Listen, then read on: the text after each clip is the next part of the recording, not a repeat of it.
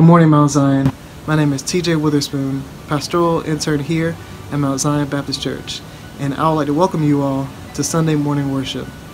And also, happy Mother's Day to all the mothers out there.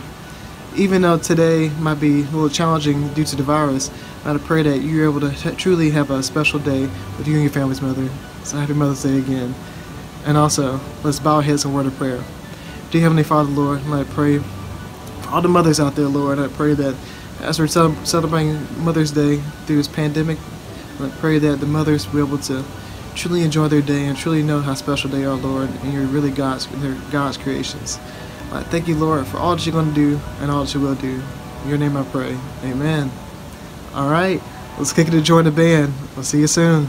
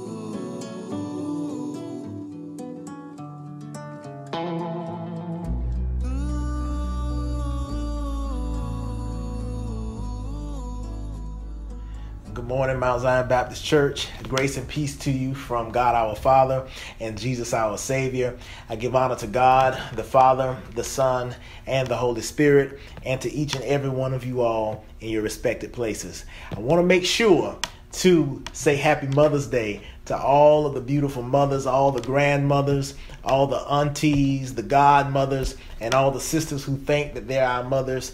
Uh, we adore you. God bless you from my heart to yours. Uh, before we dive into the word this morning, let us go to the throne of grace together. Dear Heavenly Father, we thank you for your grace, your mercy, your power, your presence, and your anointing. God, we thank you for all that you are, all that you have done, and all that you are doing. And we thank you right now that you are in control. We thank you that our lives are in your hands. And God, we thank you for the opportunity to come together virtually to worship you and to fellowship with one another. God, we ask that you would open our eyes, our ears, and our hearts. God, that we might receive all that it is you desire to speak this morning. I pray that as I decrease, you would increase. I pray that as I am weak before you, you would make your strength perfect in my service.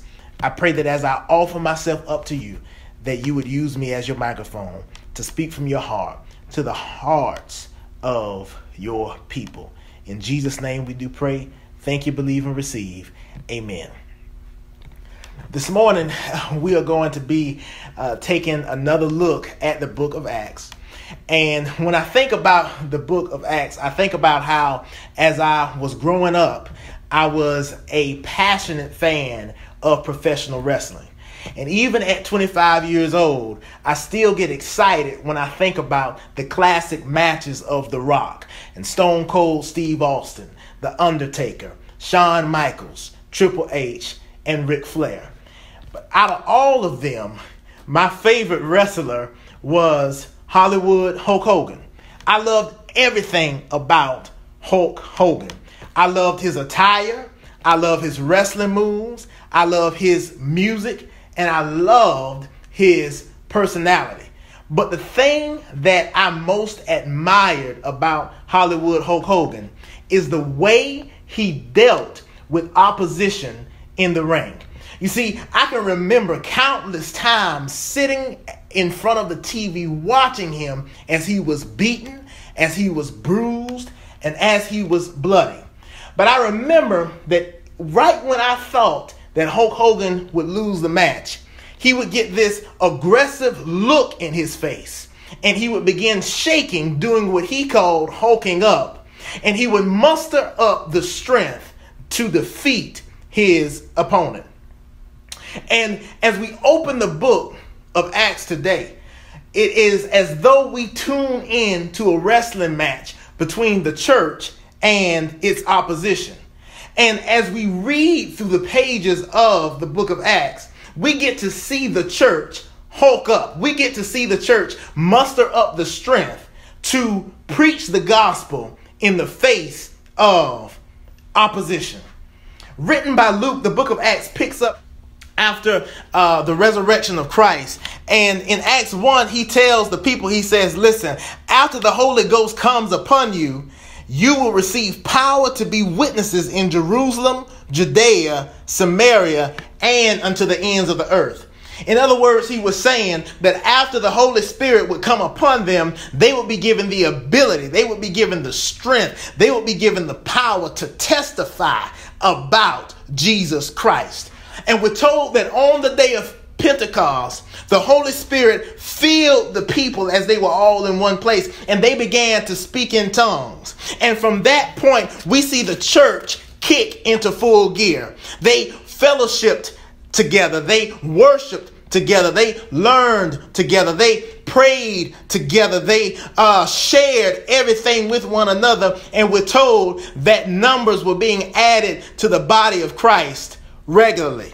The apostles went on to heal all types of people with all types of diseases, and they preached the gospel in some of the most ridiculous situations. And we're told in Acts chapter 6 that as the church grew, tensions grew between the Jewish groups because one group's widows were being overlooked in the daily distribution of food.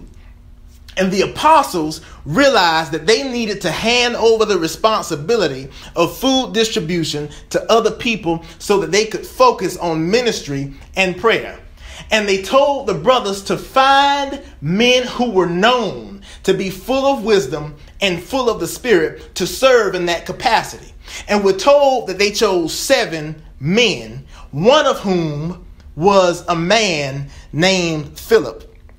Now, as we continue our series, The Cast of Acts, back to the beginning, we're going to focus on the cast member of Philip, otherwise known as Philip the Witness or Philip the Evangelist. And the first thing we get to notice uh, about Philip, and the first thing we learn from Philip, is that Philip was a servant.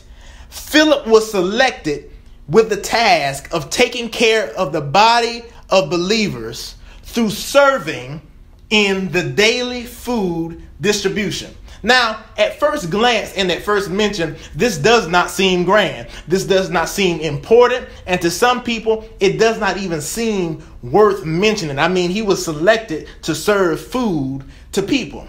But as simple uh, and as unimportant as this task might seem, it was very important because by serving food, he helped to prevent division in the body of Christ. And today, well, as a matter of fact, a few months ago, daily food distribution probably didn't seem to be an important task. It didn't seem to be an important job. But as we stand in the midst of a pandemic, as we stand in the midst of what so many people are calling uncertain times, we get to see that the daily distribution of food is actually essential. And so now, restaurant employees and dishwasher and grocery store employees and people who deliver food from here and there are considered to be essential essential. It's funny that when all hell breaks loose and people find themselves in the midst of chaos, what seems simple and unimportant suddenly becomes essential. And so, as simple of a task as daily food distribution seemed, Philip's service was essential. And as simple as his service might have looked to the people of the time and might look to us today, he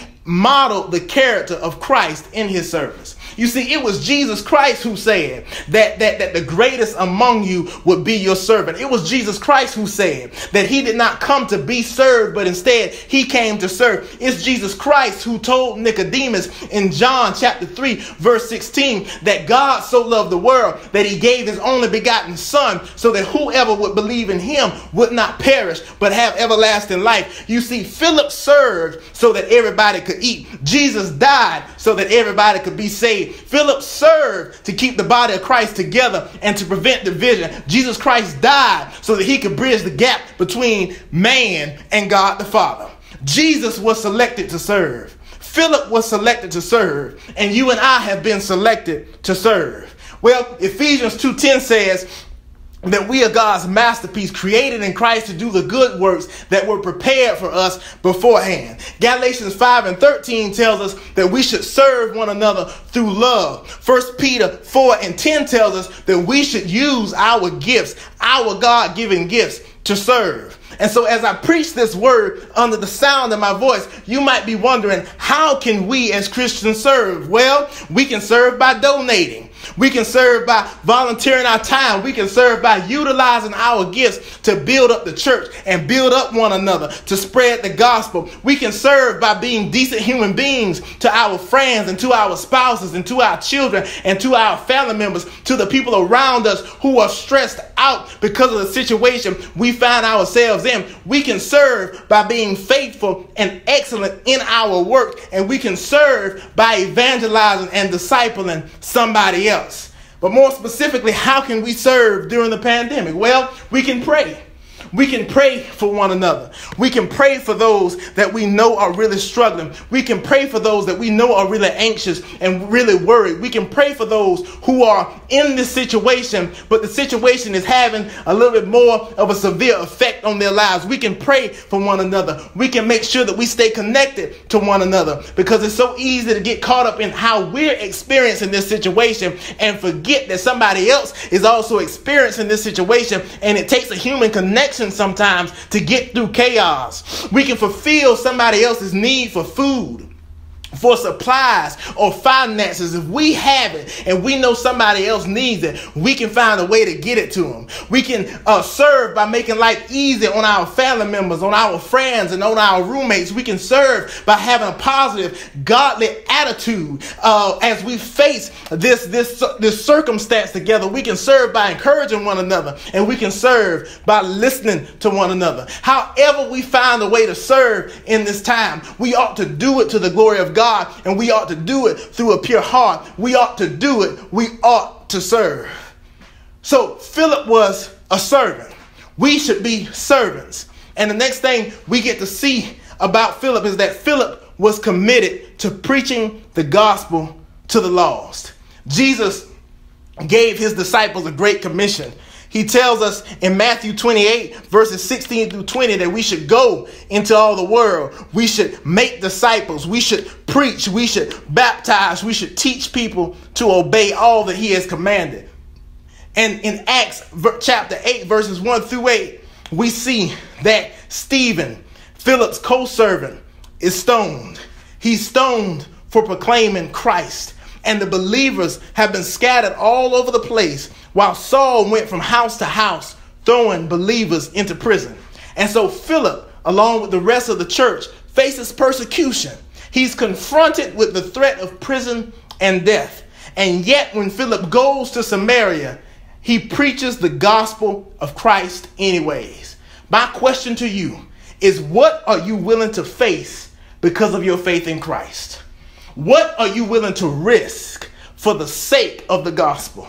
We should be willing to risk something. We should be willing to face persecution. We should be willing to face opposition for the sake of the gospel and for the sake of the lost. If we're going to say that we're Christians, if we're going to say that we uh, are following Christ, if we're going to say that we're disciples of Christ, we should be willing to go through some stuff. We should be willing to risk some things. We should be willing to risk being talked about for the sake of the gospel. We should be willing to risk being laughed at for the sake of the gospel. We should be willing to risk uh, being abandoned for the sake of the gospel. We should be willing to risk being neglected for the sake of the gospel. We should be willing to risk being broken up with for the sake of the gospel. We should be willing to risk being uncomfortable for the sake of the gospel. We should be willing to risk being inconvenienced for the sake of the gospel. And we should be willing to risk being heartbroken for the sake of the gospel.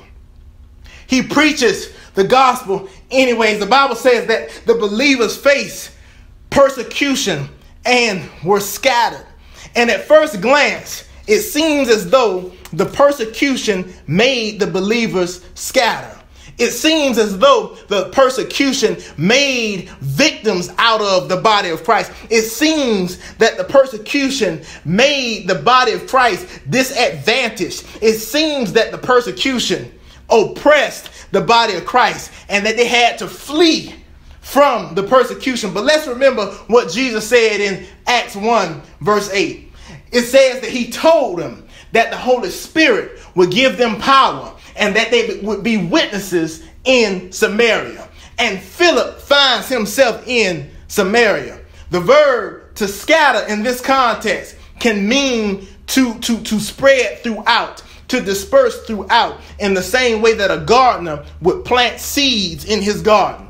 You see, this isn't about the believers being punked into Samaria. This is about God forcibly planting believers in Samaria so that the promises of God Himself might be fulfilled. You see, the devil was at work in persecution, but God was at work concerning his promise. What the enemy meant for evil, God meant for good. You see, with man, it would have been a disadvantage, but God used it as an advantage. You see, right now where you sit, right now where you watch, You might be in a place where you feel disadvantaged. You might be in a place where you feel oppressed. You might be in a place where you feel let down, broken down. You might be in a place where you feel like you're stuck in unfair circumstances, but you have got to remember God's promise to make your path straight. Remember God's promise to hear your cry. Remember God's promise to keep you in perfect peace. Remember God's promise to be with you in, in the water and in the fire. Remember God's promise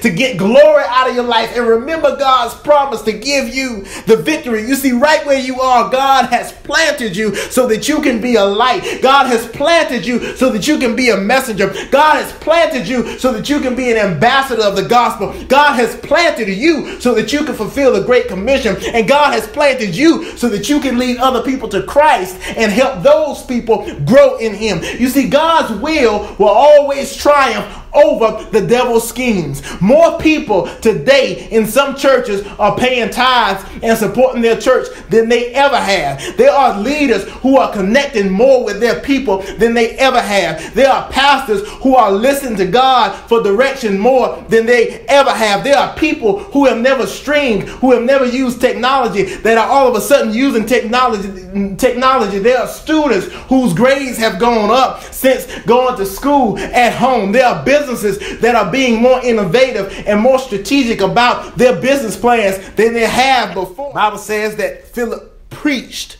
to Samaritans. He preached to a group of people in the midst of a group of people who were hated by the Jews. He preached in the midst of a group of people who were looked down upon by society. Philip preached Christ to them without prejudice. And as Christian people, we must be willing to share Christ with those who are different from us. As Christian people, we must be willing to share Christ with people that we should hate. We should be willing and ready and passionate about sharing Christ with people who should hate us. As Christian people who claim to believe that Jesus Christ died for all, we cannot pretend like Jesus is just for our family. We cannot pretend like Jesus is just for our church. We cannot pretend like Jesus is just for our friends. We cannot pretend like Jesus is just for the people who sinned the same way we did. If we're going to preach Jesus, we've got to preach Jesus that is rated E. He's rated E for everybody. Philip preached Jesus to Samaritans. We should be willing and ready to preach Jesus to anybody in the name of Jesus and in the love of God.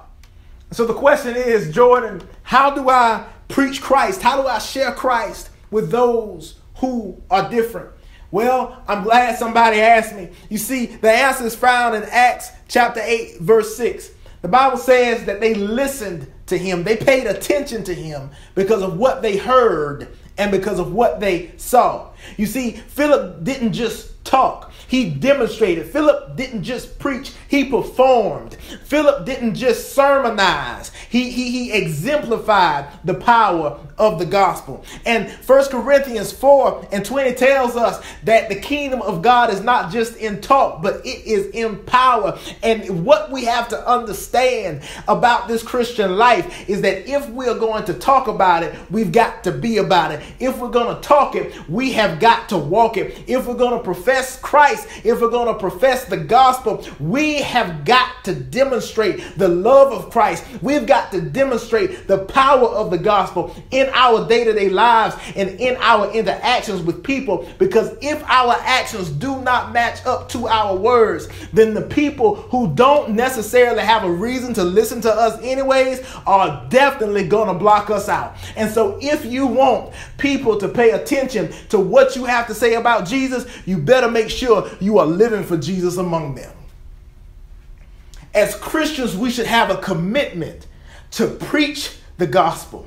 And as Christians, we should have a commitment to live and demonstrate the power of the gospel to the lost. And so we understand that Philip was a servant and we should be servants. We understand that Philip had a commitment to preaching the gospel to the lost, and we ought to have that same commitment. And we also get to see that Philip was a man led by God Himself. You see, the Bible tells us in Acts chapter 8 starting in verse 26, that Philip was definitely a God led man. Let's read some of Acts chapter 8. We're going to start at verse 26 here. It says that now an angel of the Lord said to Philip, Go south to the road, the desert road that goes down from Jerusalem to Gaza. So he started out, and on his way, he met an Ethiopian eunuch, an important official in charge of all the treasury of the queen of the Ethiopians. This man had gone to Jerusalem to worship, and on his way home was sitting in his chariot reading the book of Isaiah the prophet. The Spirit told Philip, Go to that chariot and stay near it. Then Philip ran up to the chariot and heard the man reading Isaiah the prophet and said, Do you understand what you are reading? How can I, he said, unless someone explains it to me? So he invited Philip to come up and sit with him. And this is the passage of scripture the eunuch was reading. He was led like a sheep to the slaughter, and as a lamb before its shearer is silent, so he did not open his mouth. In his humiliation, he was deprived of justice. Who can speak of his descendants? For his life was taken from the earth. The eunuch asked Philip, Tell me, please, who is this prophet talking about? Himself or someone else? Then Philip began with that very passage of scripture and told him the good news about Jesus. And as they traveled along the road, they came to some water, and the eunuch said, Look, here's water. What can stand in the way of my being baptized? And he gave orders to stop the chariot. Then both Philip and the eunuch went down into the water, and Philip baptized him. Philip had been successful in Samaria. Philip had been fruitful in Samaria. But when he was told by an angel of the Lord to go, Philip went. Philip submitted to God's instructions and he went where God sent him. You see, when God tells us as the people of God to go, we've got to go. When God tells us to do, we've got to do. When God tells us to change, we've got to change even if it is not in alignment with our will, even if it is not in alignment with our timing, even if it is not in alignment with our ambitions or with all of our accomplishments, if God says it, that settles it, and we've got to be willing to go. And my question to you is are you willing to go? Are you willing to move at God's commands? Are you willing to submit to God's instructions? against your own inconvenience? Are you willing to submit your will to God's will? To go and do what God says to go and do? Are you willing to go off to an isolated place to do the work and to do the will of God? The Bible tells us that on his way, he met an Ethiopian eunuch. He met an Ethiopian, a man who uh, was culturally different from Philip, a man who had a high and important rank, a man who was religious to some degree because we know that he was coming from worship. And even though this man uh, was high ranking, even though this man was religious to some degree, even though this man had some credibility about himself, he still needed to hear the gospel. We don't know much about Philip, really, and we really don't know much about this Ethiopian. But what we do know is that God wanted this man saved. And so he directed Philip's footsteps so that he could use Philip to reach this man. You see, when we are led by God's Spirit and when we choose to do God's will as the people of God, sometimes it's not so much about where we are going as much as it is about who God is going to use us to reach on the way. And my question is Is your unwillingness preventing somebody else from hearing the gospel? Are you willing to preach the word to those you meet on the way? Are you willing to speak to someone with whom you have nothing in common to glorify God? What we should do every day, what we should do every morning, what we should do every time we think about it is to ask God to let His Spirit guide us to the carriage. Ask God to let His Spirit guide us to the home, to the phone number, to the office, to the text message, to the person who needs to know that Jesus Christ died so that they could be saved. Philip was a servant of God. Philip, Philip, Philip had a commitment to preaching the gospel of Christ to the lost. Philip was led by God. And we should strive to be like Philip in all these ways. And we also get to see that Philip was able to explain the word of God. Philip was a servant. Philip was committed to preaching. Philip was God led. And Philip was also word fed. He was equipped to explain the word of God. Philip finds this Ethiopian of high rank and religious affiliation reading a passage of scripture. And Philip asks him if he understands. And he replies he cannot understand without someone to explain it to him. You see, there are some people of high status who do not know the gospel. There are some people who go to church every Sunday. They go to Sunday school, they go to life group, they go to midweek service, they participate in all the functions, they serve, they pay their tithes, and they give offerings on top of it, but they do not understand the truth of the gospel. And these people need to hear an explanation of what the word says and not just a proclamation of what the word says. The Bible says that Philip explains it, the Ethiopian believes, and he gets baptized. As Christians, as disciples of Christ, we should all be equipped to explain the word of God to other people. We should all be equipped and ready, excited about explaining the gospel of Christ to other people. You see, it is important to be led by the Spirit. It is also important to be fed by the word. Where I come from, uh, I've known a lot of older preachers who would tell me that they did not prepare to preach. Instead, they just uh, relied on the movement and the guidance of the Holy Spirit. And that's great. The Holy Spirit will guide, but God tells us that we've got to feed our spirits with the word of God. You see, 2 Timothy 3:16 says, All scripture is God breathed and it's useful for rebuke, it's useful for teaching, it's useful for correction, it's useful for training. 2 Timothy 2 and 15 says that we ought to study to show ourselves approved, workmen that need not be ashamed, but rightly divide the word of truth. Ephesians 6 tells us that the word of God is our spiritual weapon. And 1 Peter 3 and 15 says we ought to always be prepared to give an answer for the hope that we have. And my question, my question, yet again, can you explain the word?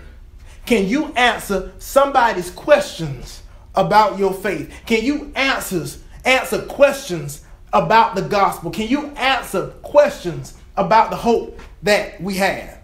As the people of God, like Philip, we must be ready to tell people and we must be ready to teach people and explain to people that God is real that God is real and that God wants a relationship with us, that God is real and He wants to reveal Himself to us. He wants to have a fellowship with us. But sin and our human imperfection destroyed that relationship. And God, loving us so much, sent Jesus Christ to be a sacrifice. And He was indeed led like a sheep to the slaughter. He was indeed sacrificed like a lamb so that we could be forgiven, so that we could be saved from the penalty of our sins, so that we could experience a restored relationship with God, and so that we could experience access to heaven. Jesus made it simple. He says, all we've got to do is believe in Him. All we've got to do is believe that He did die for our sins and was raised for our justification. We've got to believe and confess that He is the Son of God and that God did raise Him again. And when we believe and when we confess, we can be saved. And so, my message is that as Christians, we've got to be servants wherever we are. In whatever circumstance we find ourselves in, we've got to be servants. We've got to be committed to preaching the gospel of Christ. We've got to let God lead us. And we've got to be able to explain the word. And then my message to the individual listening to me right now who says, Jordan, I want to be saved. I want to know Christ as my personal Savior. All you've got to do is put your faith in what Jesus has already done. All you've got to do is come to Him and confess that you are a sinner. Confess that He is the Son of God and believe that God raised him again on the third day, and then you shall be saved. Let us pray. Dear God, we thank you for your word. We thank you, Lord God, for the message. And God, we pray right now in the name of Jesus. Hallelujah, God. We pray right now in the name of Jesus that you would give us a servant's heart. God, that you would give us the mind of Christ. Lord God, so that in every area of our lives, God, we might humble ourselves. We might humble ourselves enough to suffer for the sake of the gospel. We might humble ourselves enough to serve. God, that we might humble ourselves enough to sacrifice, to sacrifice, God, to do your will, to sacrifice our will to do your will. God, I pray right now in the name of Jesus that you would speak into our hearts, speak into our beings. And Lord God, that you would give us a passion for the truth of the gospel. God, so that we might tell it to everyone we know. And God, that we might show it in how we love and in how we live. And God, that you would lead us by your spirit. Lead us by your spirit in every single area of, of our lives, Lord God, and lead us by your spirit, Lord, so that as we meet people on the way, Lord God, we might use that as an opportunity to share Christ with them. God, give us a hunger and a thirst for your word. God, because we recognize that your word empowers us to live, your word directs us, and through your word we can direct others. And Lord God, I pray, I pray for anyone Anyone that's lost today, anyone that does not know you as the partner of their sins, God, I pray right now in the name of Jesus that by your spirit you would draw them, Lord God, and through their faith they would confess Christ. In Jesus' precious and holy name, Lord God, we thank you, believe you, and receive you for all that you've done, all that you've spoken, and all of the glory that you will reveal. In Jesus' name, amen. Where you go, I'll When you move.